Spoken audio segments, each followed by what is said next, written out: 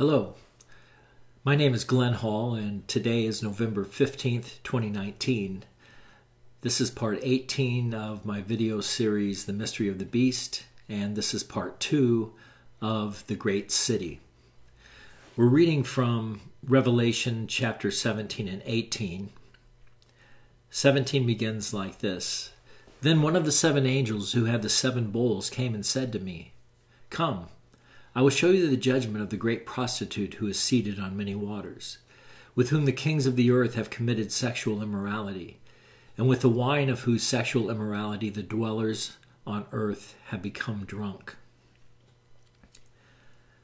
And he carried me away in the spirit into a wilderness, and I saw a woman sitting on a scarlet beast that was full of blasphemous names, and it had seven heads and ten horns.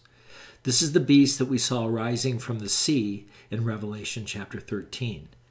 the woman was arrayed in purple and scarlet and adorned with gold and jewels and pearls, holding in her hand a golden cup full of abominations and the impurities of her sexual immorality. And on her forehead was written a name of mystery Babylon the Great, mother of prostitutes and of earth's abominations.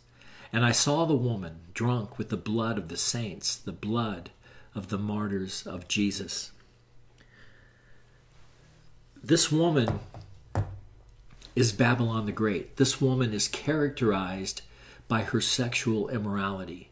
Think of one thing that characterizes the world that we live in today it is rampant sexual immorality of any type imaginable, anything you can think of any trans this, that, or other that you can think of.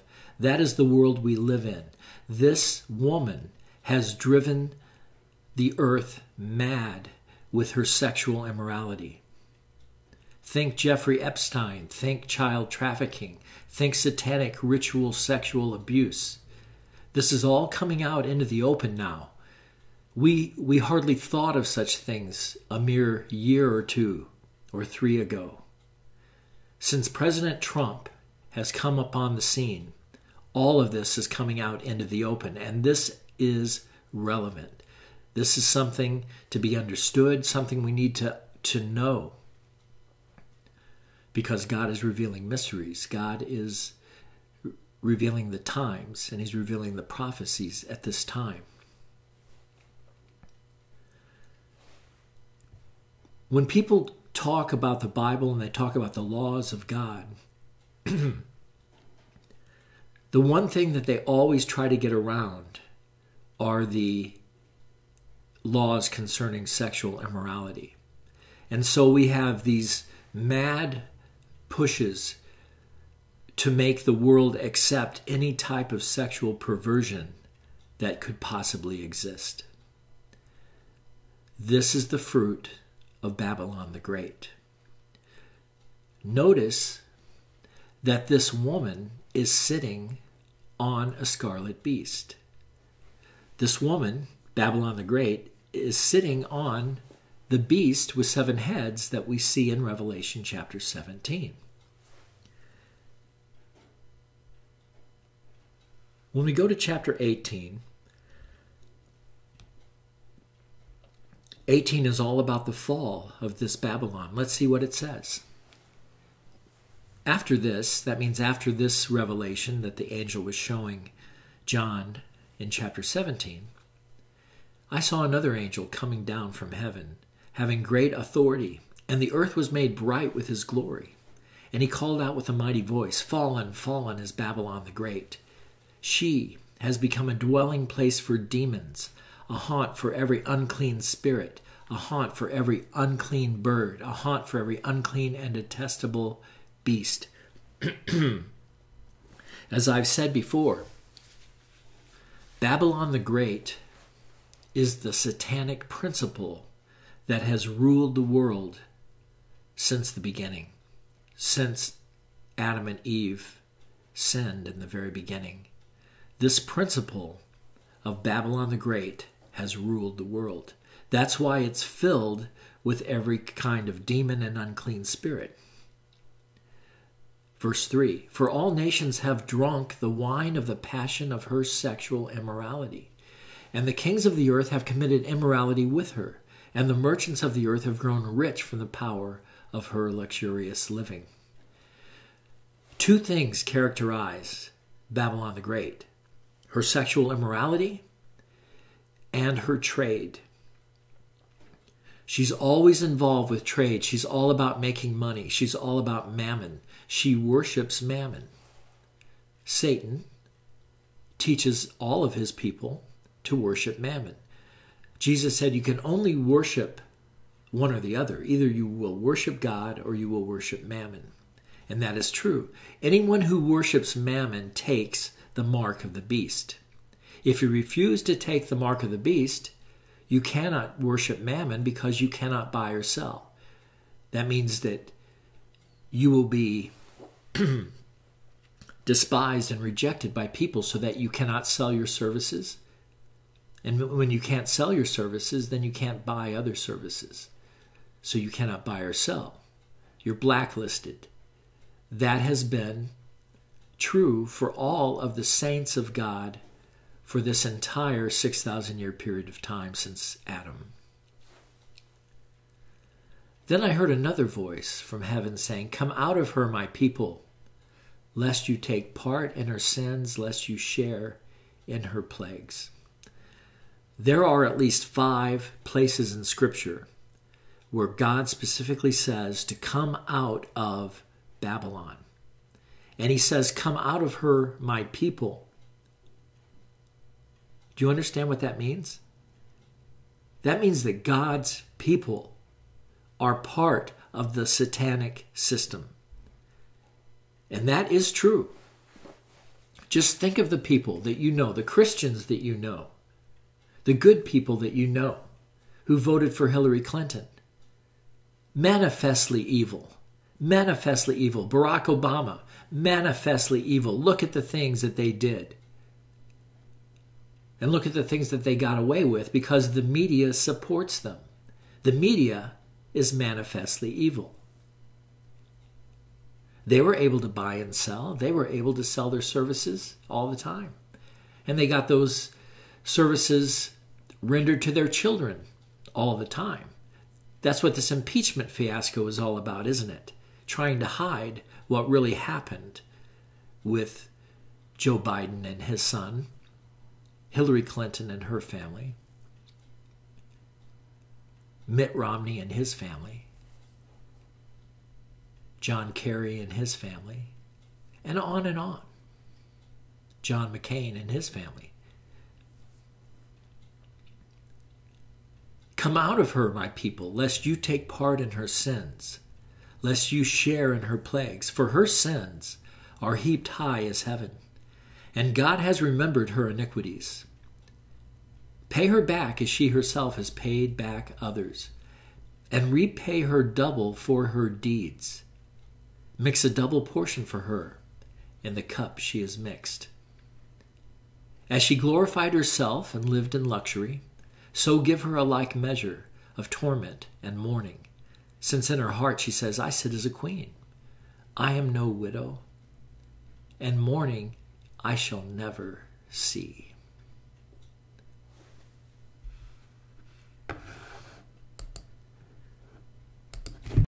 Pay particular attention to that verse 7.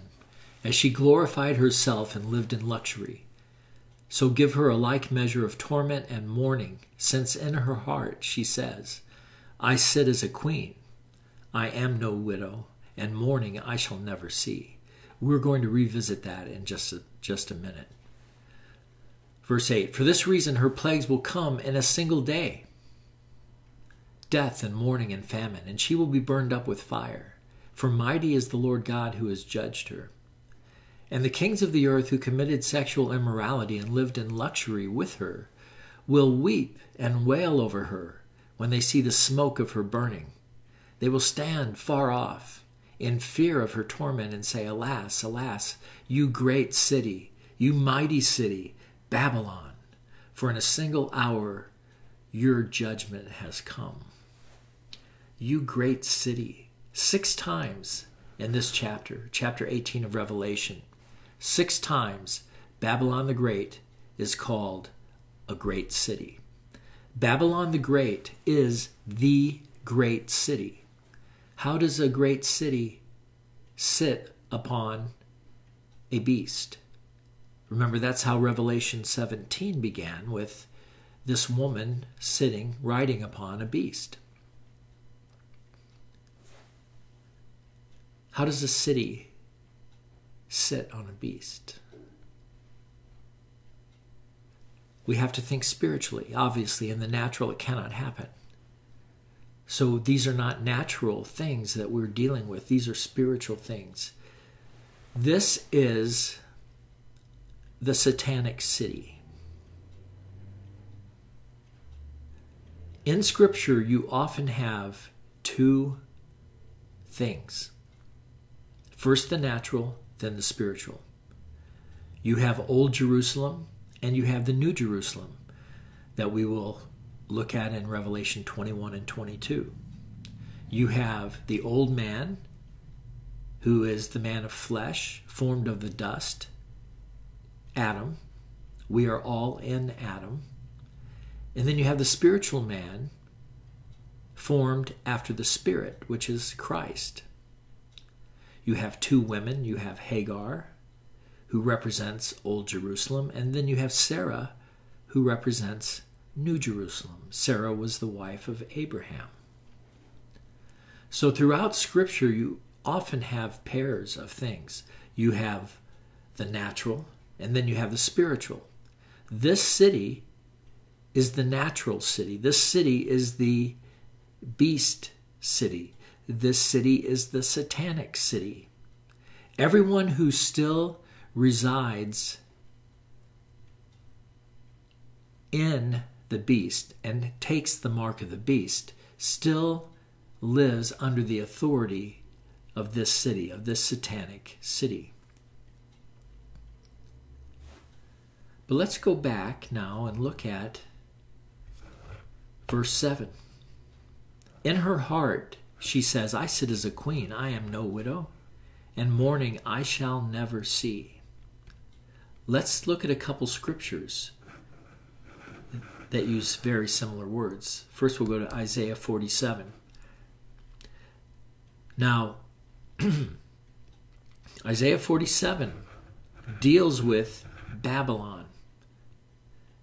In the past, many people have interpreted these scriptures in Isaiah and Jeremiah dealing with the destruction of Babylon as having been dealt with when the kingdom of Persia, Media Persia, destroyed or took over Babylon by Cyrus the Great. But these verses deal with today. These verses deal with the taking down of Babylon the Great. And that's why we're going to take time to read through the prophetic scriptures.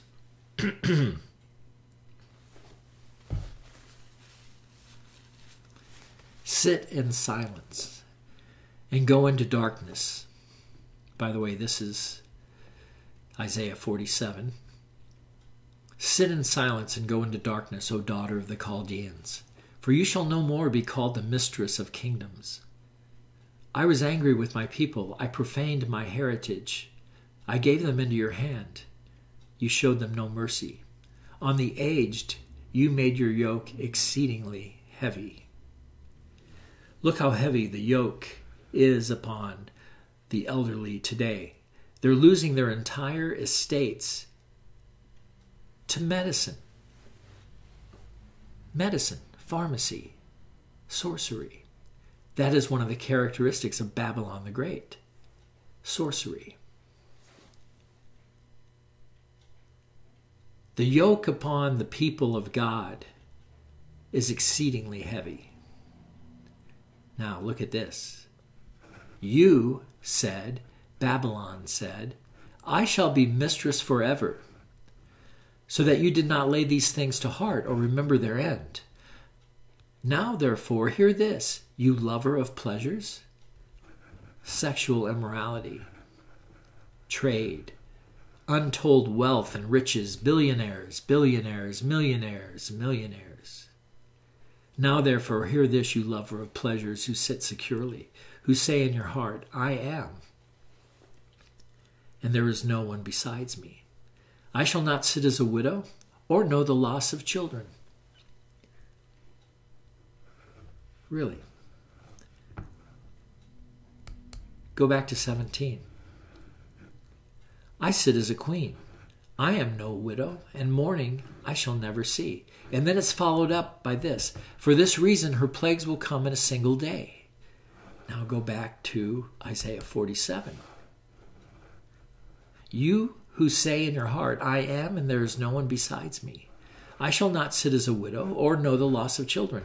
These two things shall come to you in a moment, in one day. The loss of children and widowhood shall come upon you in full measure. In spite of your many sorceries and the great power of your enchantments, sorceries, pharmakeia, pharmacy, drugs, magic.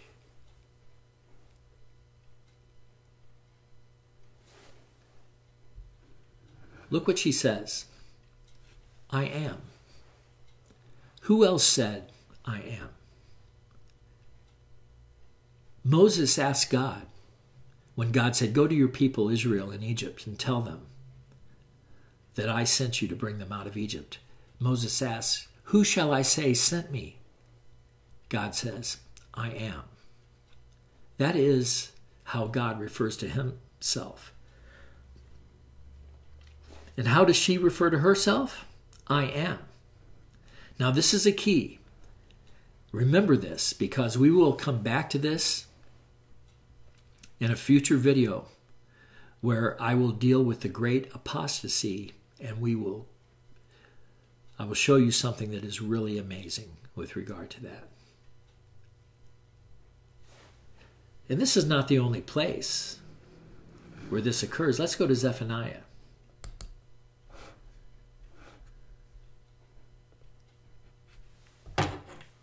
Zephaniah 2 and the verses 15. This is the exultant city that lived securely, that said in her heart, I am, and there is no one else. Zephaniah chapter 2, verse 15. The exultant city, the great city, she said in her heart, I am. So you see, Zephaniah speaks of Babylon the Great. Isaiah speaks of Babylon the Great. Jeremiah speaks of Babylon the Great in chapters 50 and 51. Nahum, the whole book of Nahum, deals with Nineveh, but yet it's dealing in a secret way with Babylon the Great, but not calling it Babylon at that time. Let's go now again back to Revelation, chapter 18. Because of her boasting and because she wants to take the place of God, for this reason her plagues will come in a single day death and mourning and famine, and she will be burned up with fire. For mighty is the Lord God who has judged her. And the kings of the earth who committed sexual immorality and lived in luxury with her will weep and wail over her when they see the smoke of her burning. They will stand far off in fear of her torment and say, Alas, alas, you great city, you mighty city, Babylon. For in a single hour your judgment has come. This tells me that the judgment of Babylon is going to come quickly, that it's going to happen in a very quick fashion. I don't know exactly what's going to happen, how it's going to look. I could only guess I don't know if it will be because of an actual hot war between Donald Trump and his armies and the armies that remain faithful to Babylon the Great. I don't know.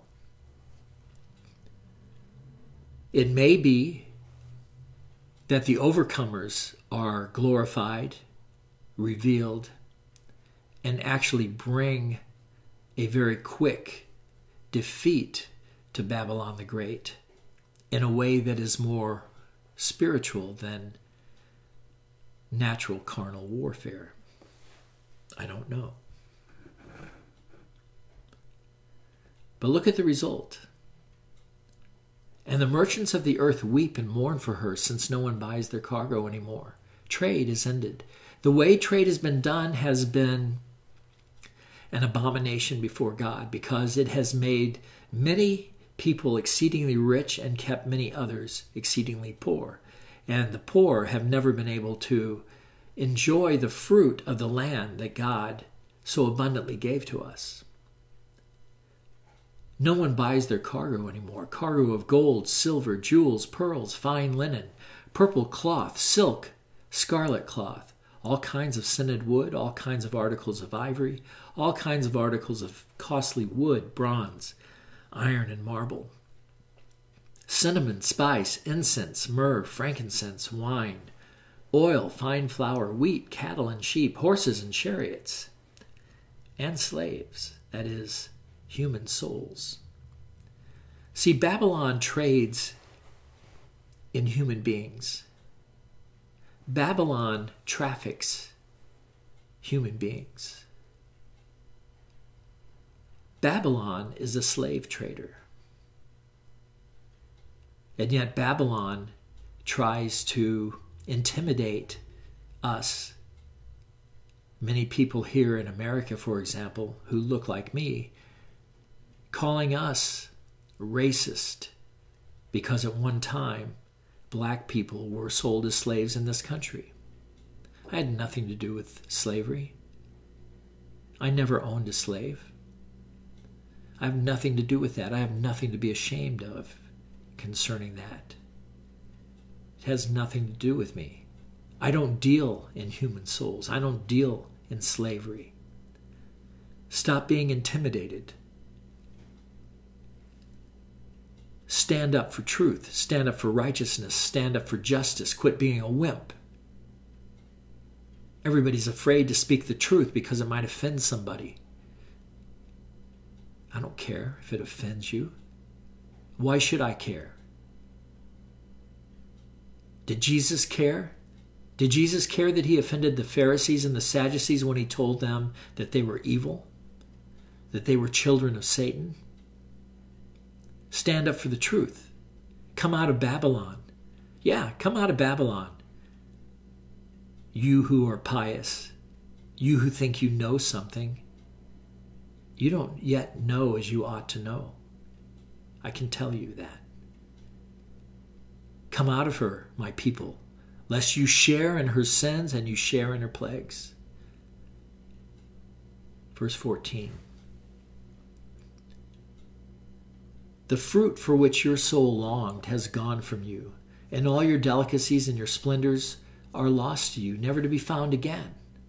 Never to be found again. Babylon is coming down. The Luciferian age is over. The kingdom of God is at hand. His people will rule with a rod of iron. They will rule with righteousness, justice, mercy, truth. But they will not allow the rampant evil that has been allowed in this world for 6,000 years.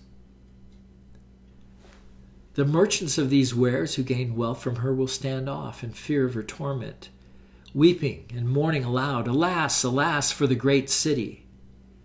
There it is again the great city, that was clothed in fine linen and purple and scarlet, adorned with gold, with jewels and with pearls. For in a single hour all this wealth has been laid waste. Your time has come, Babylon. Your time has come. The end has come. And all shipmasters and seafaring men, sailors, and all those, all whose trade is on the sea, stood far off and cried out as they saw the smoke of her burning. What city was like the great city. And they threw dust on their heads, and they wept and mourned, crying out, Alas, alas, for the great city, where all who had ships at sea grew rich by her wealth, for in a single hour she has been laid waste. Rejoice over her, O heaven. And you saints and apostles and prophets, for God has given judgment for you against her. God has given judgment for you against her. God is judging the harlot. God has raised up Donald Trump as the eighth head of the beast to judge her. Oh, really? Yes? Revelation chapter 17, the very end. And the angel said to me, The waters that you saw where the prostitute is seated are peoples and multitudes and nations and languages. Babylon is everywhere, ubiquitous. Babylon covers the earth. Babylon the Great controls the world. Babylon the Great is the satanic principle that controls all governments. She rides the beast. The beast is man's government. The heads of the beast are the heads of man's government. The heads of the beast are the kings. But yet, all of those kings have been ruled by Babylon the Great, the satanic principle that has ruled all. All peoples, multitudes, nations, languages. And the ten horns that you saw, they and the beast will hate the prostitute. We now are at that time where people are waking up to the reality that they have been ruled by evil, that they have been ruled by tyrants.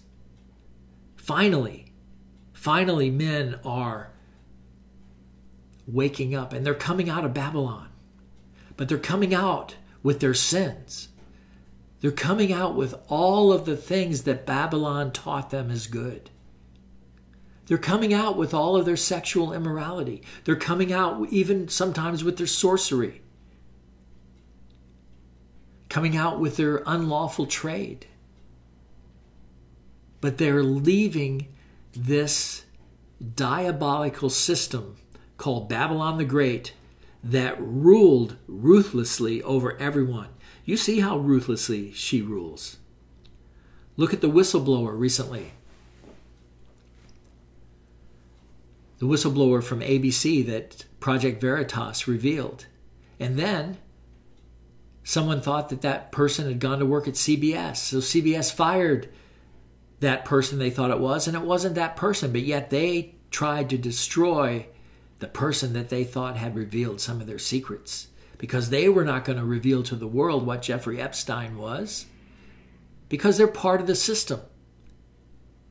They're part of the sexual immorality. They're part of the trafficking in human souls.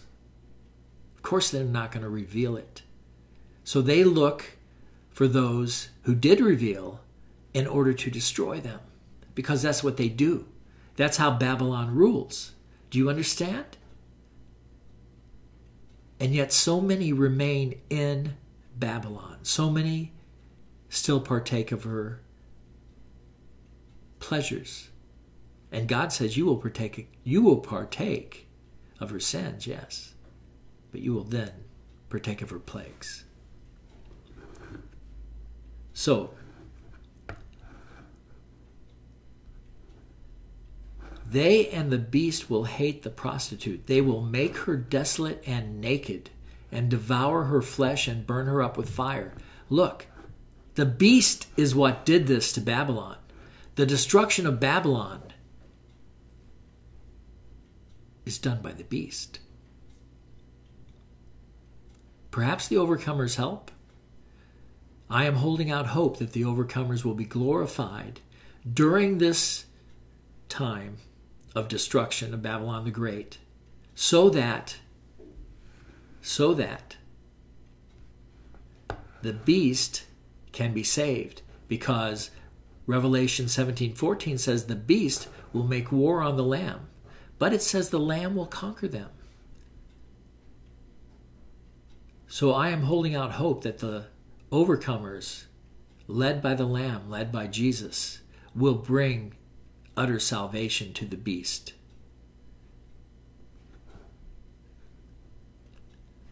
But the beast will make her, will make Babylon the Great desolate and naked, and devour her flesh and burn her up with fire. For God has put it into their hearts to carry out his purpose by being of one mind and handing over their royal power to the beast until the words of God are fulfilled. And the woman that you saw is the great city that has dominion over the kings of the earth. The great city is Babylon the Great. The great city has dominion over the kings of the earth. It has ruled the earth for 6,000 years. Satan is the ruler of this world.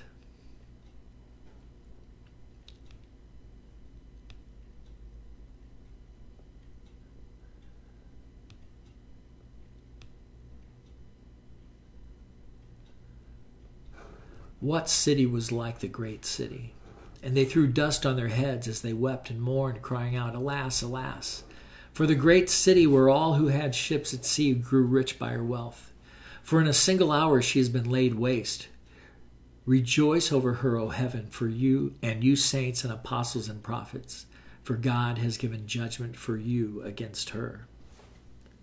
Then a mighty angel took up a stone like a great millstone and threw it into the sea, saying, so will Babylon the great city be thrown down with violence and be found no more.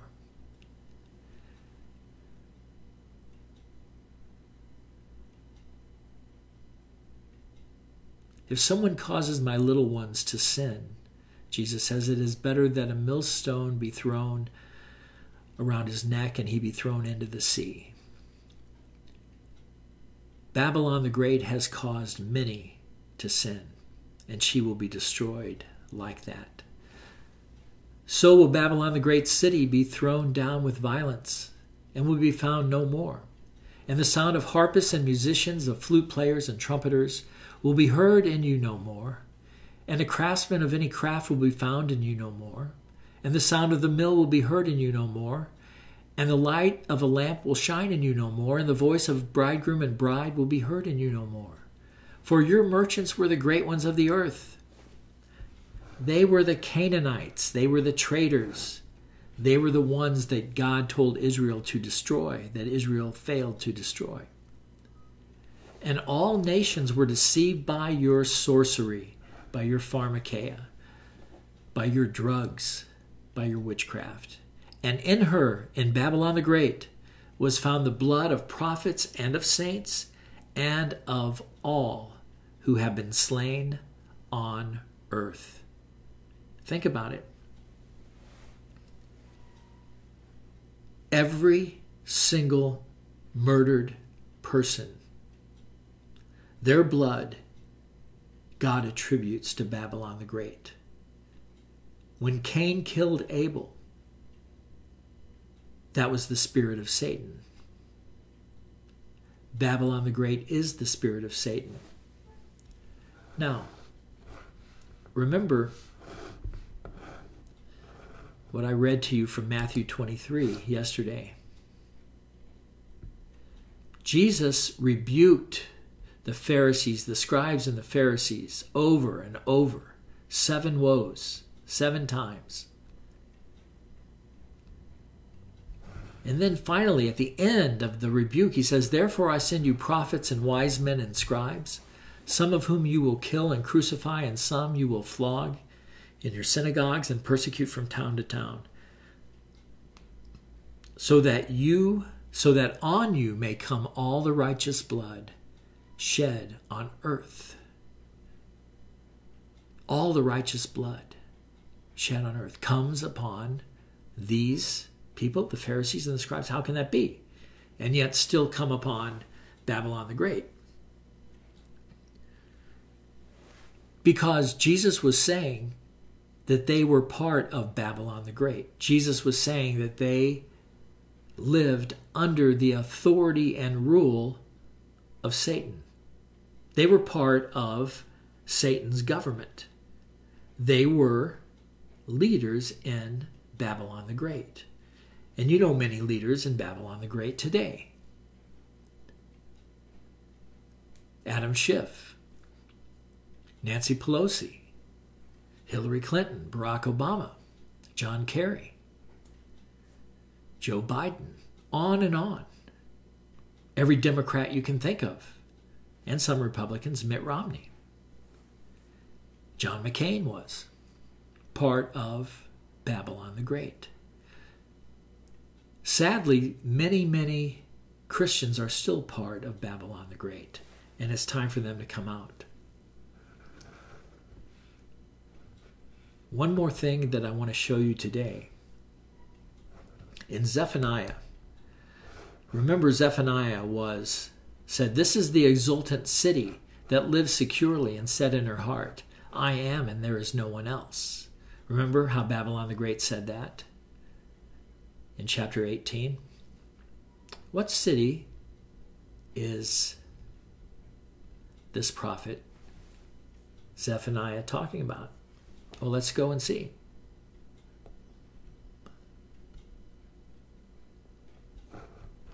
Verse 13 And he will stretch out his hand against the north and destroy Assyria.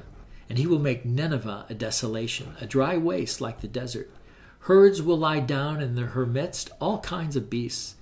Even the owl and the hedgehog shall lodge in her capitals. A voice shall hoot in the window.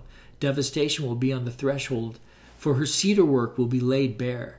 This is the exultant city. This, Nineveh, is the exultant city. Nineveh says, I am and there is no one else. And that's what Babylon the Great said. What does that say? It says that Nineveh is part of, or one of the cities of Babylon the Great. Jerusalem is one of the cities of Babylon the Great. Revelation 11. Sodom, one of the cities of Babylon the Great. Gomorrah, Egypt, one of the countries of Babylon the Great. If we go to the book of Nahum, for example, woe to the bloody city. What city is he talking about? Woe to Nineveh. He's talking about Nineveh. In fact, the entire book of Nahum is about Nineveh, God's wrath against Nineveh. So Nineveh is one of the great cities in Scripture that has an entire prophetic book devoted to it, talking about its destruction. So, what's Nahum talking about? Nahum, the entire book of Nahum, three chapters, is talking about the destruction of Babylon the Great. Now, in Scripture, you typically had a fulfillment in prophecy that was relatively c- close to the time it was prophesied, which was the first or natural fulfillment of that prophecy. That would be called the type, T Y P E. In the New Testament, you have the prophetic fulfillment, which is called the anti-type, A N T I T Y P E. It's the prophetic fulfillment of a natural event that happened. And we see that over and over in Scripture. It's exactly the same principle as what I taught you in a previous video dealing with the parables of the Bible. All of the Bible is a parable, one parable after another, one story after another, but they're true stories. Jesus, when he spoke, he spoke in parables. He would make up a story that was not necessarily a true story. He would tell a story, but the story he told was a parable that spoke prophetic truth. All of the Bible is like that. That's how we learn to interpret the Bible and how we learn to understand the Bible. Because we see how God works in the Old Testament and then on how he works in the New Testament. When we get to Babylon the Great and the destruction of Babylon the Great, we're dealing with the destruction of a spiritual principle.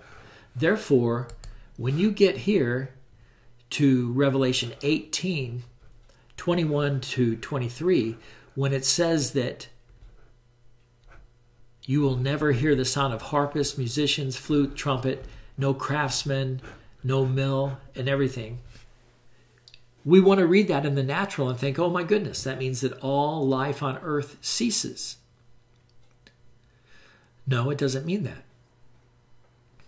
It means that all of these things cease within the context of a demonic, satanic paradigm or government.